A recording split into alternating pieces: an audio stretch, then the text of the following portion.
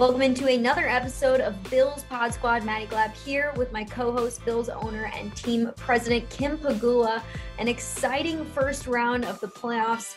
Who knew that the Buffalo Bills were just going to go ahead and put up 47 points and beat the Patriots by 30 points? It was an epic win, Kim. I'm sure it was so much fun to watch, knowing that every single drive we had on offense, they scored a touchdown until they started to kneel down. I mean, what was it like watching that game from your vantage point? Wow, it was it was amazing. Like I, you know, early on, I kept waiting for the shoe to drop. You know, like oh, we're doing so well. Like okay, what's what's going to happen now, right? Because games don't necessarily go that perfectly, and especially Josh, except for like four incomplete passes, I, I don't know how you get better. Now, I'm I'm sure you know um, the football folks, you know, find a lot of ways that they can improve on that game but as a fan, I don't know how it could get much better than what happened Saturday night. Yeah, I completely agree. It seemed like our fans were super happy and excited to be there. I'm sure everyone watching from home felt the exact same way. I mean, it was like the perfect scenario the entire game. Uh, touchdown after touchdown after touchdown. I mean, Josh threw for five touchdowns. That that was a team record for the Buffalo Bills in the playoffs. So he's just continuing to make and break all these records, which has just been amazing to watch from my point of view. I'm sure from your point of view as well. But what was what was the day? What did the day entail for you? Um, knowing that it was a late kickoff, what were you up to? Anything different happen leading up to the game or at the end of the game since it did end pretty late? Well, because of the cold weather, I did it was just a very long day. So it, it was funny because I got to the stadium earlier than normal and I got to the stadium around one o'clock. At first I was like, I got to hurry, you know, to this, um, well, this, when I say stadium, I'm talking about our offices there. Yeah, yeah, um, yeah. I'm like, I got to get to the office so we can, you know, watch the, the game, you know, ahead of us. And I remember, oh, there is no one o'clock game. Um, it didn't start till four. So there was a lot of waiting around. And then you know, especially ones with the enhanced protocols and of us having such a late game. Um, I'm like walking around the offices going, where is everybody? What's going on? Like, this is the playoffs. Where's the energy? There's like maybe like three people there, right? so none of the coaches were in yet. Not um, many of the players were not there yet staff in general were not there. Uh, so it was a little bit lonely and long there at the early part of the day. But then once four o'clock hit, then things started to really uh, to speed up there. And it, it, was just a long, long wait. Um, I did brave the outside. We didn't have our usual, you know, sideline, um, you know, fans on the sidelines uh, pregame uh, because of the weather and, and worrying about that. And I will say it was cold, Maddy. I don't know if you if you went down on the sidelines. I did go down. I wasn't there as long as I usually am. I could not feel my lips. I felt like I got Novocaine when I go to the dentist and you like, you know, you just kind of can't feel it. Um, it, it was, it was mighty cold. Um, and so having a win like that for our fans who did brave the cold for the whole game and the, the stadium didn't empty. Like they were there. They were, I mean, I about, I'm going to say like maybe the halfway between the first uh, quarter, you know, I went out into the clubs um, and there was nobody in there. And I, for, for sure, thought, oh my gosh, they're going to be crowded because everyone's going to try to stay warm. And then throughout the game, you look outside, nobody left. And um, so, what a testament to our fan base, to the Bills Mafia, and for the team to put up that kind of win uh, for them and the fans being able to get there um, and see that in person. I'm sure it's going to be one of those you know where were you at that game and what is one of your you know best memorable games in Bills history for those fans that were there, it's got to be in their top five. Yeah, it was a night to remember. My dad came into town for the game. He's from Chicago. And so I was asking him after the game, you know, were you cold? Did you stay outside? What, what was the deal? Like, I would expect, you know, everybody to kind of go inside. He was like, no, we went inside like for halftime to get some more drinks and food, but we stayed outside. You're only cold if you're losing. And I was like, oh, okay. That's uh, that is so true. It was a really a fun night, and then just you know anticipating. Um, it was a little. It was nice on Sunday to kind of sit back and relax and just wait to see what's going to unfold. Um, and then knowing, you know, end up knowing who we end up playing uh, this week. Um, of course, Kansas City Uh, but it's nice to get those games under the uh, under your belt, and then you can just go ahead and plan. And looking forward to going to KC again um, this weekend. Yeah, it seems like now it's just, you know, you get to the playoffs and the Chiefs are in your way at some point, whether it's going to be the divisional round or whether it's going to be the AFC championship game you've just got to beat the Chiefs to get to the Super Bowl. And so we have that contest coming up this weekend, Sunday night game. And speaking of the Chiefs, we have Mitch Morse on our podcast this week, the center for the Buffalo Bills. He's been one consistent piece to the uh, this offensive line that's shifted so much throughout the season. Mitch actually got drafted by the Kansas City Chiefs and spent some time in KC before coming to Buffalo, four seasons before coming to the Buffalo Bills. So he's gotten to be on uh, two explosive offenses since coming into the NFL. He's pretty lucky uh, in that way. So we're going to talk to him just about his season uh, and what he thinks about this year's team, and and also a, a new child in his life. Um, his wife just had a new baby, so looking forward to talk to him about that as well. So let's get to our interview with Mitch. Mitch, thank you for being on with us. We know it's a busy week for you as you guys prepare for the second round of the playoffs. There's a lot going on, but I feel like for you, there's just even more going on. I mean, you have had a wild past two weeks. Uh, you told us that you had a new baby, a baby boy, uh, the day after you won the AFC East, and then that Saturday, Saturday, you guys go and win the wild card game against the Patriots. So a whirlwind of events, lots of happy things though. That's the great part is you've had a lot of happy life events happen within the last like seven or eight days. So how has the last week been for you and your wife, Caitlin? Uh, yeah, I appreciate you asking. Um, professionally and personally, it's been a tremendous seven days. A whirlwind, like you said, um, but so much was going on, and my wife took on so much for me. Um, she's a superstar, and uh, you know she's just doing great. Made my made my transition from there to here a lot easier. Um, it was just a beautiful thing, both professionally and, and uh, personally, and I couldn't ask for any more. Well, we think that you should have a baby every year um, during the playoffs. So, so definitely his his process. You gotta take that up with my wife. well, it takes two, you know, Mitch. I, it's a family podcast, Kim. oh, sorry. Oh, no, no, it's great. Mitch, you got to be there though uh, for the birth of your son.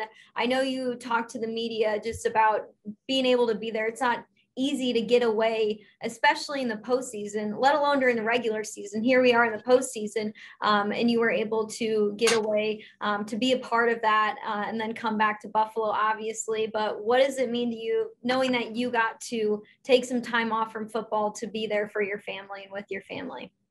Yeah, it was something that um, when I got to Buffalo in 2019, one of the things that from the top to bottom they preached uh, was that family does come first, right?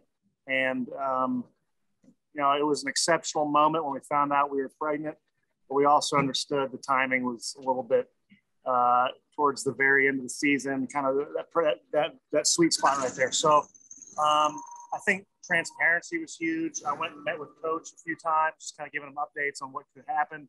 We walked through scenarios, and not once did he say anything except go take care of your business handle your family business, and uh, and then you know we talked about timeframes and getting back, and it was you know from top to bottom very gracious with the uh, organization, and then um, was back here for practice. Guys were it was it was a really fun environment. You know, it felt like everyone was um, a part of that, and uh, shoot, I couldn't have asked for any more. Well, you were drafted by the Chiefs, and so this is a familiar team uh, for you. And I know we've played uh, obviously last year in the AFC Championship and all, but what is it? What is it like going back to uh, a team, a city that you've been a part of? Um, you know, nowadays not many players stick with one team their whole career, so it's nothing new. But I always, you know, wonder what it's like for these players um, going back to a team that you were on before. Yeah, it's I w- I wouldn't lie to you if it's a uh, I think the novelty of it is kind of kind of gone away as the more you play them. But uh, it's an interesting deal walking through that tunnel, um, just on the on, on on the different sideline, and uh, you know you even if we're on different teams, there's so many personal, experience, you know, relationships, whether it be, uh, you know, equipment staff or something like that. But once the whistle hit, blows, you're in game mode. You kind of forget all about that. Um, you know, there's family in the stands.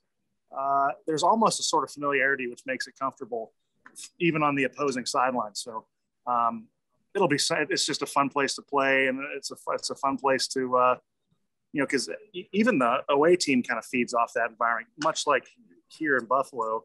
You know, when you know the the other team's got to feel the juices flowing when that crowd's going. Let's go Buffalo! It's the same thing here. So uh, it's an interesting deal. I wouldn't say I, I, wouldn't be I would be lying to you if I said it wasn't a little strange, but um, yeah, as the years progress, and this is the fourth time now, it's uh, it's the novelty's kind of gone grown, uh, gone away just a little bit.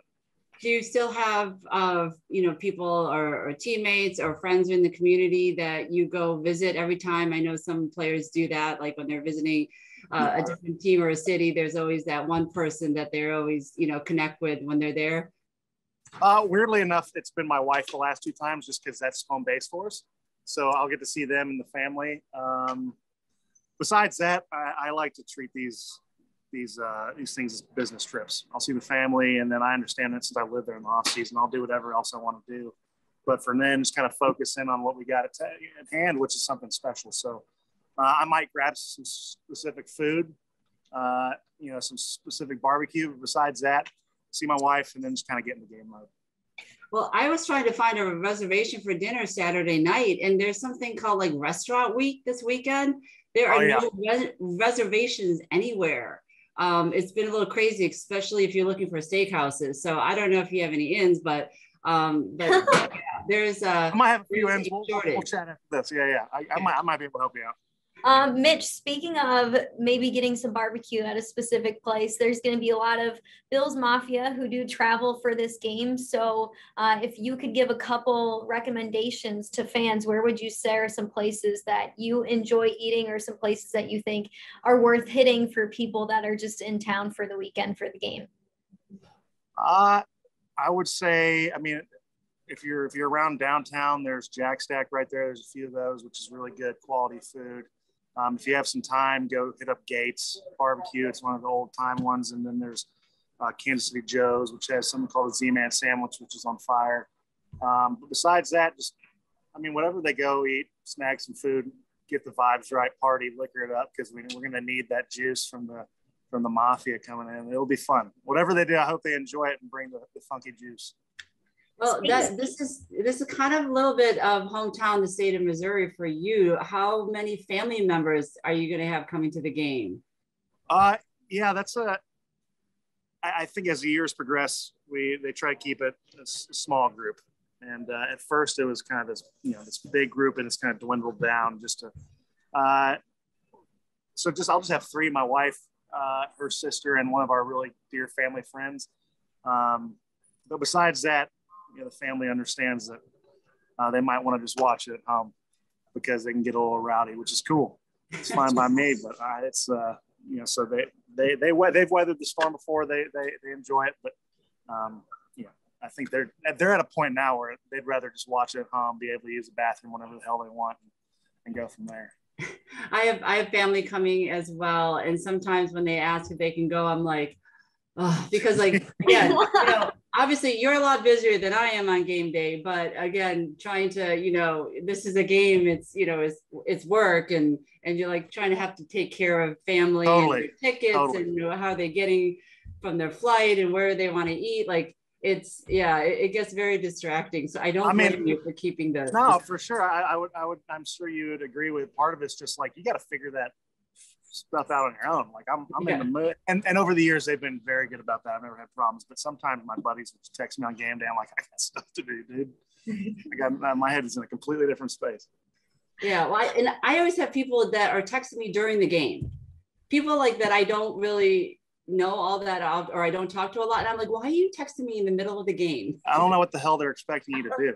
I know. like, it's, it's wild, but uh, yeah, it comes like, from a good place, I'm sure. But we, I mean, it, it is. But I'm like, okay, maybe there's some etiquette that we need to post out there. Uh, so, but um, but no, it, it's it. Listen, the O line, um, especially of late, has been terrific.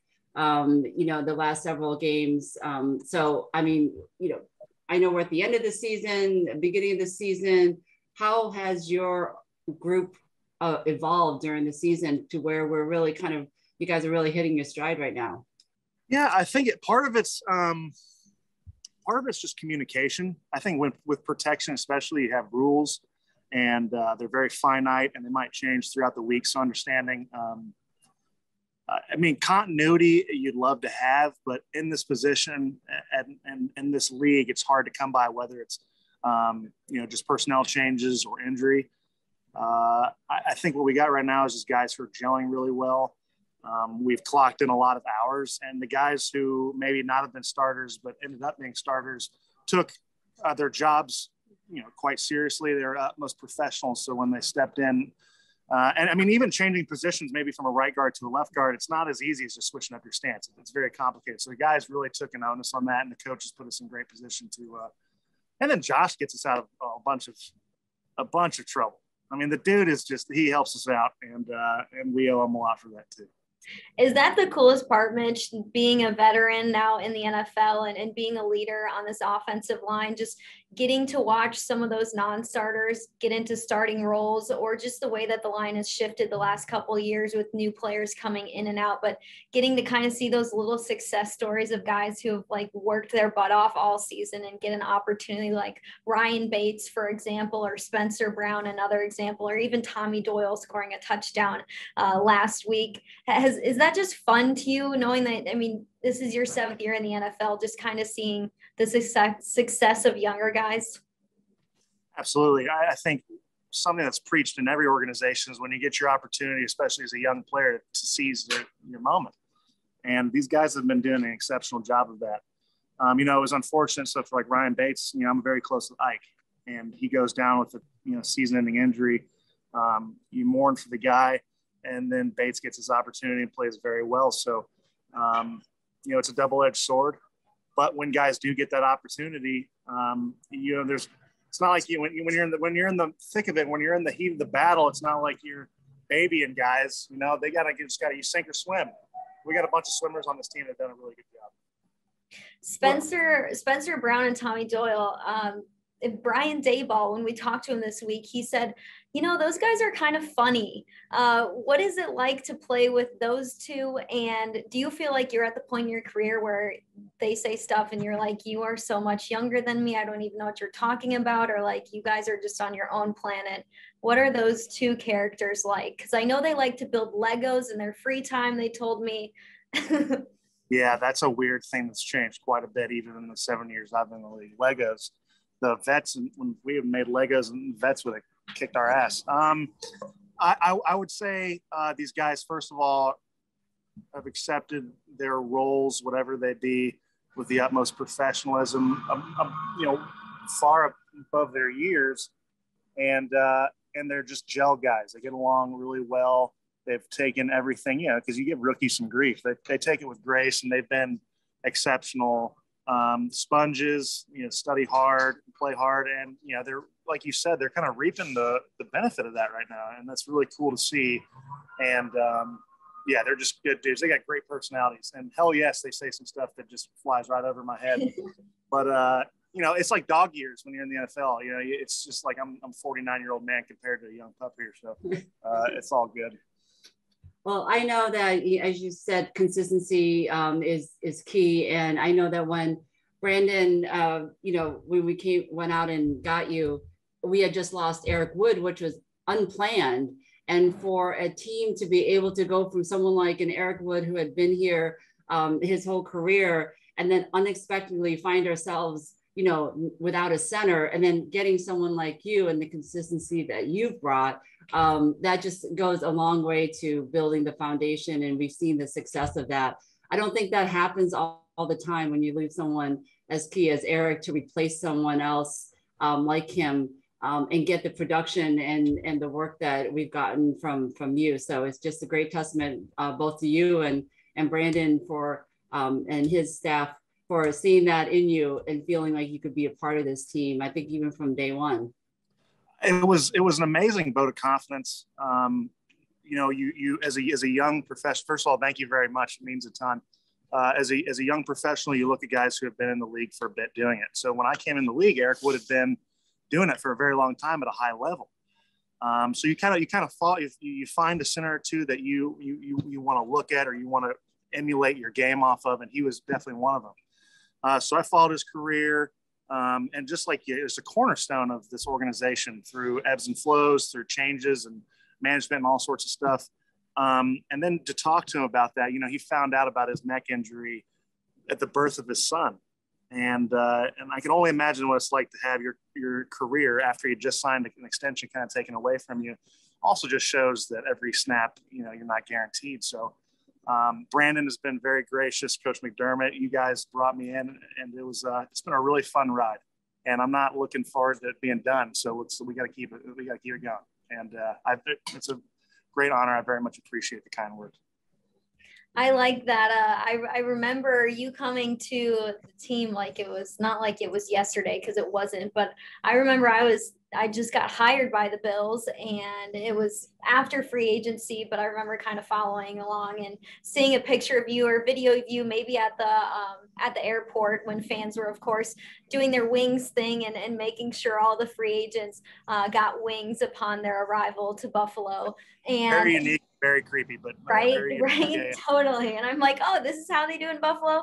But Kim, I want to take you uh, down memory lane here. Um, Mitch, you make me feel a little bit old because we went to college together, Kim.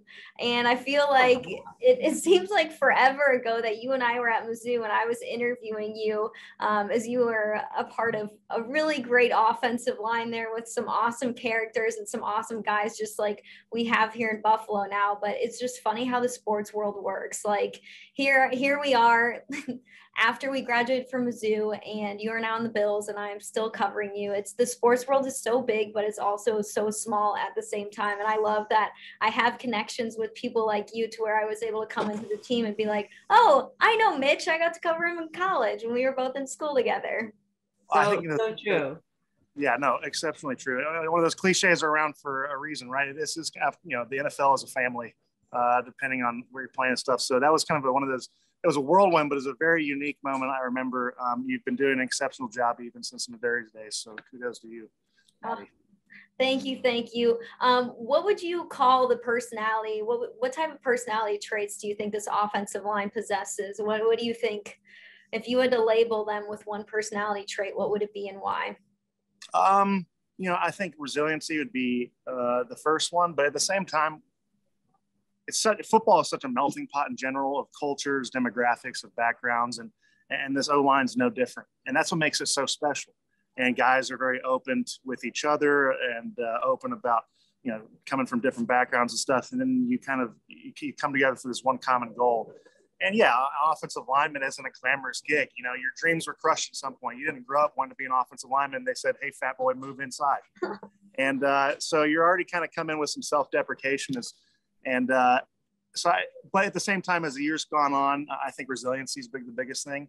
And then um, through that, we've gotten very close, and uh, it's been fun to kind of see different um, interactions kind of take place, and guys really gravitating towards certain dudes that you know you wouldn't have had the opportunity to unless you're part of a football team like this. And Josh Allen, you know, um, does he give you guys uh, any incentives, whether, you know, to, you know, in protecting him. I, I, know obviously it gives you guys a great Christmas present every year. Oh, um, like most sweet.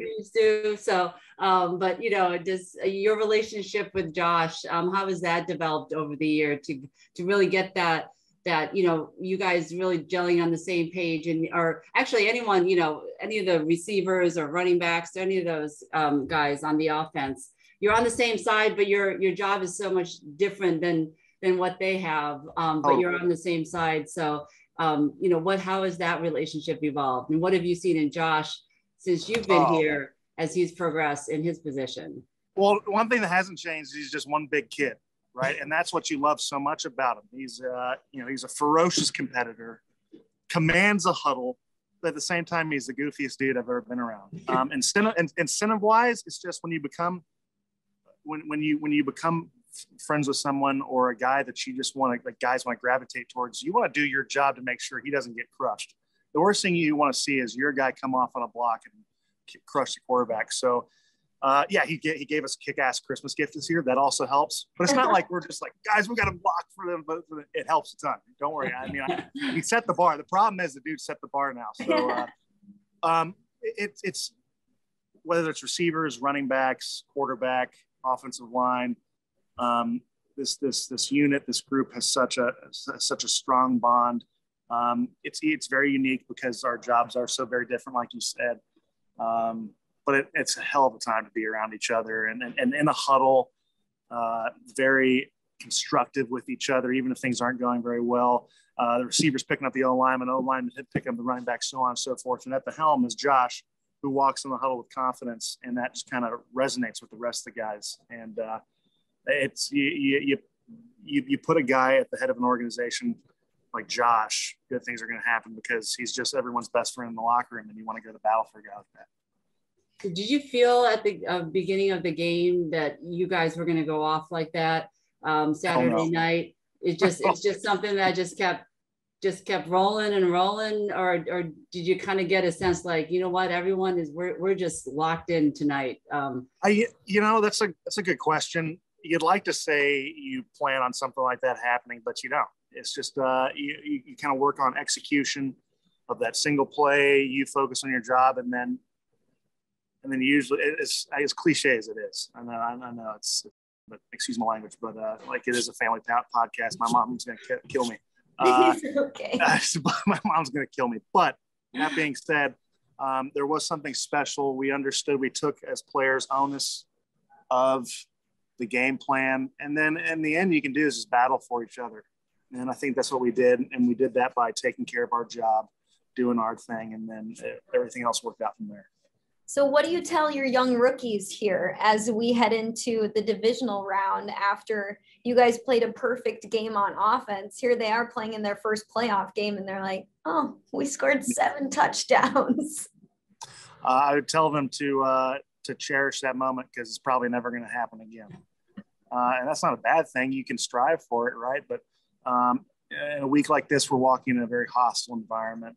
Um, you know, it, uh, I would also say don't change anything. And I think the biggest thing about teams that I've been on that made pushes, including here in Buffalo, is that you understand the script that got you here. You understand the the foundation that you've laid. You don't need to change everything all at once. You can just stick to your routine, stick to your process, understanding that the stakes are higher, but that doesn't mean you need to change much of yourself. Just understand that mistakes are amplified in the playoffs.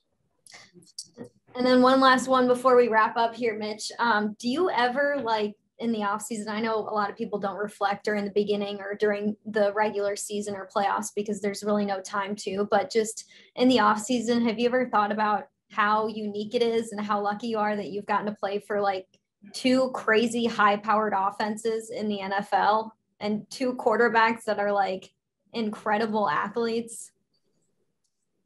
I, I absolutely do. I think when, like you said, when you're in the thick of it, you don't really, you're not able to take a step back and realize it. But um, it's been a, I've had a remarkable ride with quarterbacks ever since Alex Smith took me under his wing his first three years, Pat, and then Josh these last three years. Um, I, I don't take it for granted.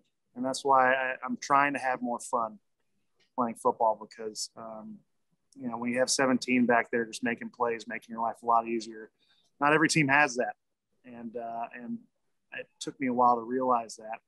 Um, but it's a beautiful thing. Not to get weirdly emotional about it, but um, you know, these playoffs are you know you, you can't take that for granted either.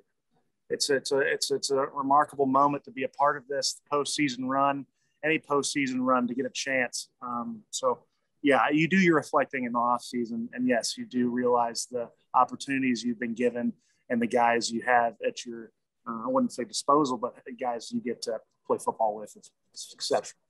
Yeah, definitely. Well, you, you, your O line, the offense, the the team as a whole has certainly made it fun for our our community and the Bills fans everywhere. When many of them will be in Kansas City uh, cheering you guys on as well. So thank you for all that you've done since you've been here, and we look forward to continuing the ride. Uh, you like well said. Uh, hopefully, those fans showed up just hammered, having a good time. let's let's uh, let's. But I appreciate it, and let's keep the party going. And uh, it's been it's been easy to be part of this this community because they've been so welcoming, and it's just it's fun. It's yeah. a fun ride to be part of. Thank you very much. Thanks, Thanks Mitch. Mitch a lot of fun to have Mitch on. He just has a good personality, is a good dude, and I will say he's not changed since since college. He always had that type of um, personality and like I want to have fun, I want to enjoy the moment. He was a part of a really fun offensive line uh, that I got to cover when I was at Mizzou. So it's just such a small world that now we're both in Buffalo together. Yeah, and no, no, no offense, Maddy, but he also seems like eh, maybe maybe it's the shaved head that kind of seems like an old soul. And and for you guys to be in college together yeah it, it didn't it didn't quite fit for me at the time. Oh, but, uh, you are not the first person to say that kim. So many people when i've said that they're like wait how old are you? How old is mitch? And then i say how old i am. They're like oh mitch looks so much like Mitch looks a little bit older. Maybe it's the maybe it's the shaved head there that he's got going on. But I'm like, yeah, we're we're same age, same class. So too funny. Um, but Kim, Sunday night game, that means a regular week for you, a regular week for this football team, which I know Sean McDermott enjoys uh, staying on schedule as frequently and as much as possible in the playoffs. It's not an easy thing to do. So is that the same for you? Not an easy thing to do here as we head further and deeper into the playoffs. I know we've talked about the fact that you're already planning for the S word, um, and that those talks and plans are probably ongoing. But as we get further here in the playoffs, does does it seem like your weeks just get shorter and and the time that you have in a day just feels like it's not 24 hours since there's so much to do and accomplish here? Yeah, it, it does. I'm back in Florida. Um, was able to get out uh, ahead of the big snowstorm that you all had, and we'll join the team Saturday night um, in Kansas City. Um, it you know it'll be a well actually it's more of like a 5:30 game in Kansas City yeah. with the time change, and so not too different from a one o'clock you know home game. Uh, and we have had a lot of night games this year. We've had a lot of national games, which I think honestly, Maddy, I think has helped our guys, especially Josh it's the game, the the time, the national attention has not been too big for Josh um, and and the team as a whole, and we've gotten a lot more experience with it. So this game, um, although the heightened awareness that it's it's the second round of the playoffs for sure, but um, being on that big stage, um, we will be just fine. It's not it's not like late 8:15 game, so basically I don't have to wait as long. Uh, so yes, back to a little bit of a normal schedule um, and we'll we'll see what ends up on that night. We have played the Kansas City Chiefs quite a bit the last two years. This is going to be our fourth game against them. Of course, our second in the playoffs against the Chiefs. Um, since we've played against them multiple times, do you feel like you have familiarity with Kansas City now? I mean, uh, Mitch told us a few places to go uh, if we're visiting there, but are you at the point where you kind of feel some familiarity with Kansas City now? You know what? It, it's funny because I, I was texting Brandon last night and I was like, hey, do you want to make dinner reservations? Because as you know, we usually go out the night before. And I was like, what was that place we went to last time? He's like, well, last year we were in COVID. We didn't go anywhere. like, oh, yeah, I forgot. So honestly, I don't really remember um, going out in Kansas City. Mm-hmm. Uh, so um, I don't have any familiarity. Um, and just, you know, I just remember going through a sea of red. So just similar to our Bills Mafia and our home games, um, Kansas City fans for sure, tailgaters, they show up. Uh, they're all decked out in red. And so it is a tough place.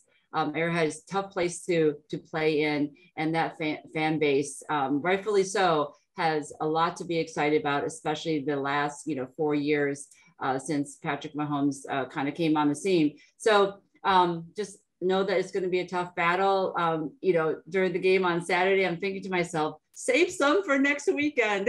you know, save some of those points, right? You never know uh, when you're going to need them, as we saw in some of the wild card uh, matchups this weekend. So some interesting things we saw this weekend as well in, in the other games um, that uh, made it for um, exciting for fans of football um, everywhere. Yeah, consistency is key. Let's see if they can be consistent here on Sunday. Like Mitch said, I'm telling those rookies that something like that will probably never happen again but maybe it can. There's a slight chance that the Buffalo Bills could just go off on offense again. I mean, I'm hoping for that because in a game against Chiefs, you know, you're going to have to score a lot of points because that's what the Chiefs do. Um, we rank pretty closely in them in the regular season in terms of offense and, and how powerful both offenses were. So it's going to be a crazy matchup. It's going to be intense. I don't think it's going to be like the week five game where we beat them 38 to 20. I know their defense has gotten a lot better since week five. So it's gonna be i'm gonna be nervous all game just like you will be we only need one more point than they do that's so true. We, we don't need to, you know, I mean, we could certainly put up 47. We just need one more point than they do. So I will be happy with that.